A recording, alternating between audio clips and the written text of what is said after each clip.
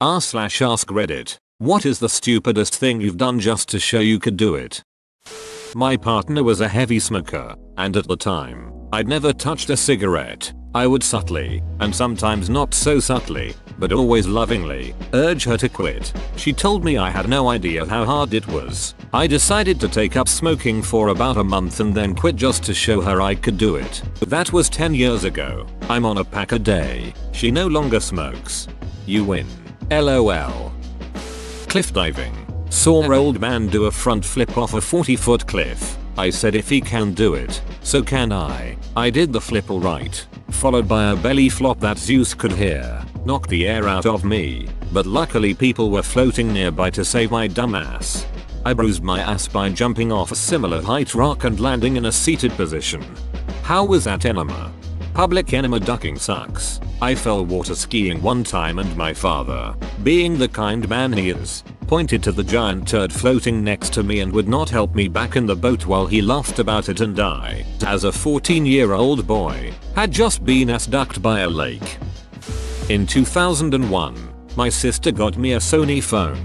A tiny little thing with a flip down front. She worked in a phone shop and got discount. On the box, it said the phone was waterproof and there were tiny rubber seals in places. I believed them. At the pub where I worked, this aspect came up in conversation. Some guy said the phone couldn't be waterproof, and that showerproof was probably more accurate. Remembering the box, I argued the point and dropped my phone into a pint of beer in an effort to prove it. I was wrong. Brutal but well earned life lesson. OMG my friend did something similar at a bar years ago. She had a case called Life Proof and she swore it made her phone indestructible. So she picked it up, slammed it on the table, and shouted Life Proof. When she lifted it up her entire screen was shattered. Walked through the brush of our tree line to get a football to prove it wasn't poison ivy. I did it. I got the football. It was poison ivy. I once did something similar, but it turns out I'm immune to poison ivy. The rest of my friends, not so much. Fun fact. Poison ivy in humans is like chocolate for dogs. It only affects 40-60% of things. With chocolate for dogs, it affects enough of them to just avoid all dogs from all chocolates just to be safe. With poison ivy in humans, only a certain percent get the effects. However, just because you don't get the effects the first time, such as itchiness and rashes, you can easily get them the second or third, etc. You can handle poison ivy 20 times thinking you're immune. Then all of a sudden the 21st time hits you like a brick. Like chocolate for dogs. Even if you think you're okay, it's still best to just avoid. In grade school, maybe age 11 or 12, I had these cheap I figured out that I could flex my belly and pop the button open. Found this funny and guy friends in class got a laugh too. One of them turns to a girl. Hey girl check out what OP can do. I flex my belly and let out a huge fart while the button pops open. She turned away. My buddy laughed. And I never did this trick again. Yep, something similar happened to me after a final in 8th grade. Me, my buddy and a girl across from us were done our tests so we were doing dumb shit to pass the time. One example was holding our breath and making our faces turn red. In a dead silent classroom I let out a high pitched fart and I swear to god my soul left my body. It wasn't low and fast so you could pass it off as a chair. No sir, everyone knew I just ripped ass. Go to love it. Won a donut eating contest. In 10 minutes I ate about 17 donuts, and seconds before the time was up and I had all my thoughts set on having a hearty cleansing puke a mother ducker who wasn't even taking part yelled that throwing up afterwards should disqualify you. Somebody counted that I took in a few days worth of calories. My appetite came back 2 days after. So I take it you didn't end up puking?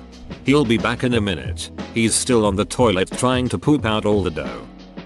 I told my 6th grade friends I could just off a 2 story roof and not get hurt. Guess who only got a scraped knee that day? Not me. I broke my leg. Parkour people, on the other hand, can do a safety roll and be mostly unharmed aside from some mild pain. When I was 6 I stapled my fingers because I had convinced all of my friends that I had iron hands. I did the same thing a couple of years ago at my old job. I was about 28 at the time. was holding the top part of the stapler. The bottom was on the desk and for some reason, I leant on it, stapled my middle finger in front of a bunch of colleagues and customers. Felt like a right idiot. Was bored at work once when it was pretty dead, and while talking to a cute cashier, I was fidgeting with a stapler, rolling it over my hands like it was a nunchuck. I slipped and ended up squeezing it. It put a staple into my finger. The cashier and I just looked at each other for a moment and then she asked if I just stapled myself. I, at age like 9-10, wanted a cookie that my friend had. Said friend proceeded to completely lick the entire cookie. Still want it? He said holding it out. Dumbus me proceeded to grab it and eat it in one bite. Total power move looking back on it. Meanwhile he too sees it as a power move and still tells people the story to this day of the most hardcore kid he ever met who took a cookie from him after he licked it while he stared in shock and awe at the brass of this man in child's clothing. Before him. When I was around 12, I was neglecting to flush my piss, too busy playing Armored Core, so my dear mother brings me into the bathroom and tells me if I don't flush next time, she's going to dip my hands in the piss. I looked at her, made a hammer fist, smashed it in the toilet, covered myself in piss, only a little on her. Thank god. I wasn't even a malicious child, just salivated at the opportunity to show I could withstand the punishment and was thus unafraid. I could imagine a little 12 year old thinking he's badass dripping with piss and his mom completely terrified of his immense power. I was about 4 years old and my grandfather was making something with buttermilk. I saw it in his hand, and I cried and screamed and begged to have some. He kept saying no, you won't like it, but I persisted. He finally poured me an entire glass. I took one swig and I'm sure he could see the disgust on my face, because he looked like he had one. I stared at him right in his eyeballs as I chugged the entire glass. Ha, my kids did this with Baker's chocolate. They, at the time 9 and 6, begged for a piece. They are it and I could see the disgust in their faces. But they had to be all alpha and be it's good, and then had another piece. Morons. I had eating chocolate in the pantry. Should have told them since they like it so much that's the only chocolate you'll buy for them from now on. I proved to myself that it's possible to eat 5 kilos of shrimp in one sitting. I also proved that eating 5 kilos of shrimp in one sitting will make you very, very sick. Agreed. Red Lobster did all you can eat shrimp once and I considered it a challenge. I sat down and immediately asked my waitress what the most shrimp she had seen a person eat was.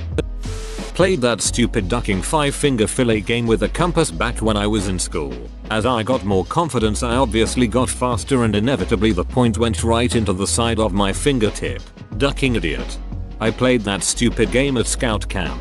I stopped after one of the younger scouts got to Koki because he could go faster than us elder guys and sliced about 1 stroke 2 inch into the webbing between his fingers. I can still see the blood shoved my pointer finger into my nose up to second knuckle. I then got a sinus infection. Who knew?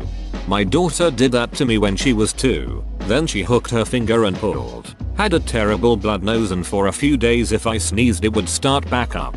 0 stroke 10 would not recommend. Not me but one of my former co-workers told us about the time he ate a tub of butter on a dare. He made it about halfway through and had to throw up. He said what came out was neon yellow. For the next month, the smell of butter made him gag and when he perspired, he could still smell it. You'd think he'd learn but he attempted the butter tub challenge a second time. This time, he paced himself and actually finished the whole thing. He said the duck up though was eating it before having to catch a train. While he was waiting, his heart was racing and he felt so amped up. He did push-ups and jumping jacks at Penn Station. I don't even like the stuff. But a dare's a dare. Chugged way too much apple cider vinegar. Huge mistake. As a kid I told my friends I could hold my breath for a long time. Long enough to pass out, in fact. And that's exactly what I proceeded to do. Ate the largest box of goldfish in one night in college. Don't do this. Oh my god I thought this was talking about real goldfish. The one that looks like a huge milk carton? Yes, one friend gets super creeped up when someone starts running at him like a dog. My friend realized I'm an expert in running like a dog. I too will be creeped out. LOL. Snuck into the Hilton and confiscated a white robe. Got caught and they let me go without checking my backpack. That's alcohol for you. Confiscated lol. They don't deserve these robes. Imitate them back for the people. I let a black widow spider bite me to prove that they were venomous but not deadly. I also won a $150 bet.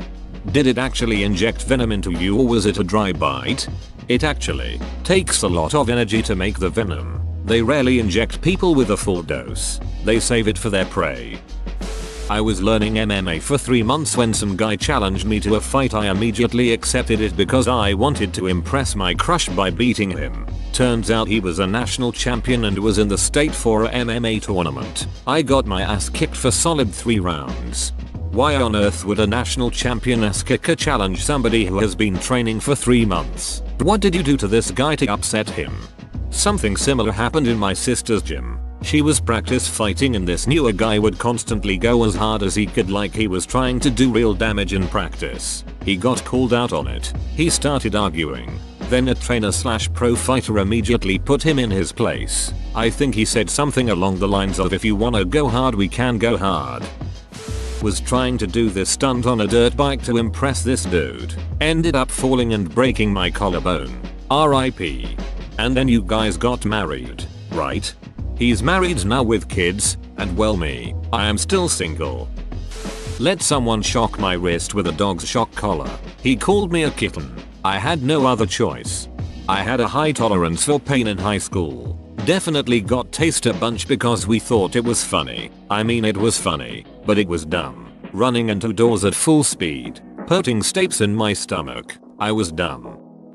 The cinnamon challenge. I've always been good at those weird food challenges so I did it pretty easily, but some people really ducked up their lungs trying it.